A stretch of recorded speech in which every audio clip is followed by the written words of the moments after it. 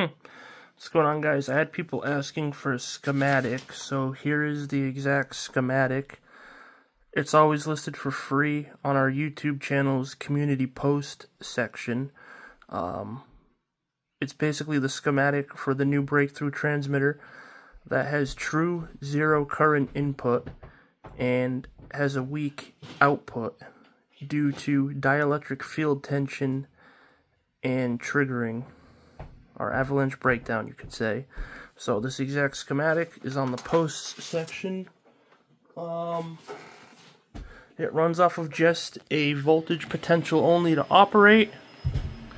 It is it consumes absolutely true zero current. Um, people can argue about that or debate me about that all day long, and you can build it yourself, replicate it. You will be blown away. You can't detect its frequency on an oscilloscope um, because it's a, it's in a scalar mode. So we're using just a 36 volt DC bias to phantom trigger the device into operation. I wound an extra L4 coil over it to experiment with.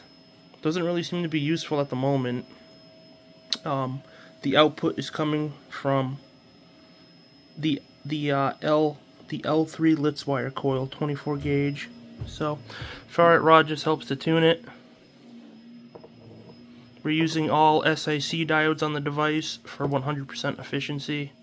It's basically an avalanche tunneling dielectric um, triggered transmitter that has true zero input. So the meter is on the utmost sensitive current detection setting.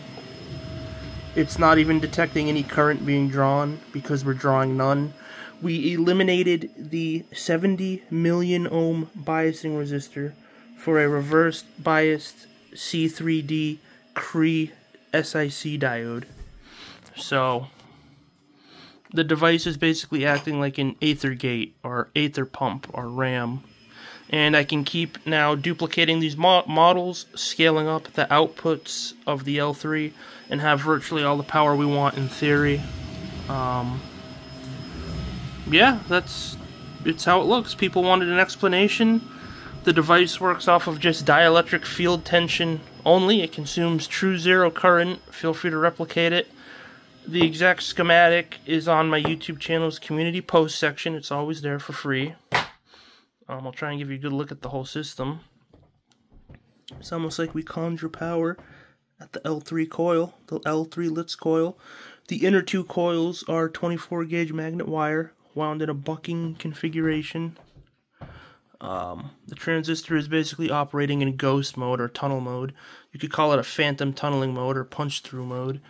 And we have true output with zero input. And notice how if I get close to it, it shuts off. It's highly sensitive to tuning. The system is actually acting like a broadband scalar receiver to output power.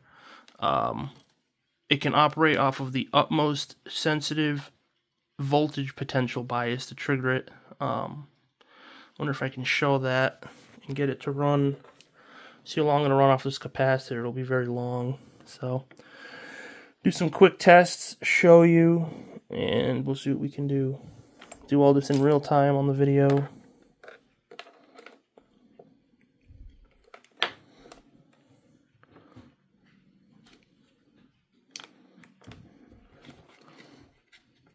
Everything on these batteries loves to come disconnected. So I'm charging up capacitor. I'm going to run the system off of just a capacitor now.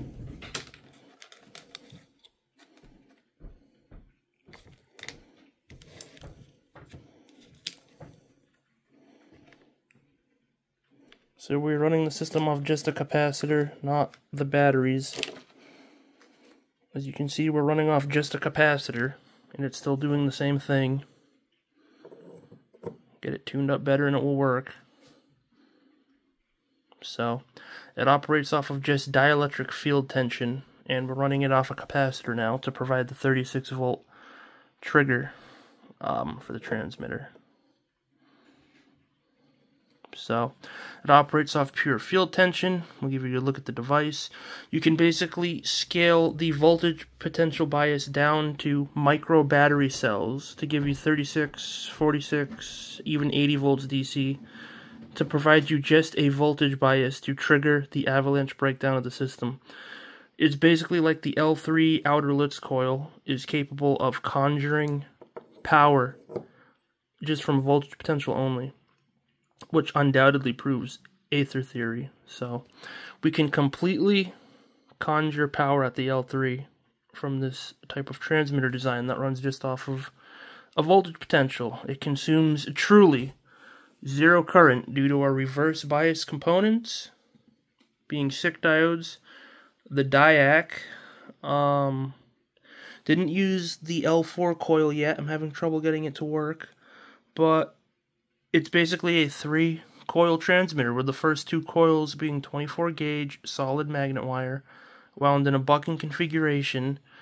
The outer coil is um, 24 gauge Litz wire and that's what's running the LED. The L3 coil is basically what conjures you your power to run this LED light and you can tune the inductance of the system with a ferrite rod. It's almost like we conjure the power properly with the ferrite.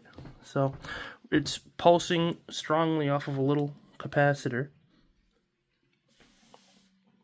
And the other thing that's crazy too, that's mind bending with this system, is it'll still run in pulse with a through a series capacitor.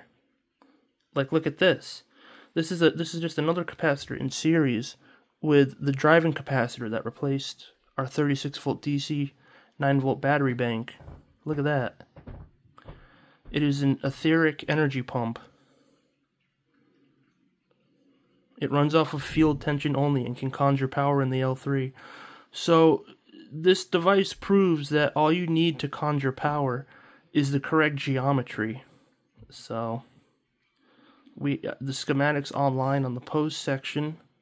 Look how remarkable that is. Just running off of a series DC capacitor with the main capacitor. So if that's not incredible, I don't know what is.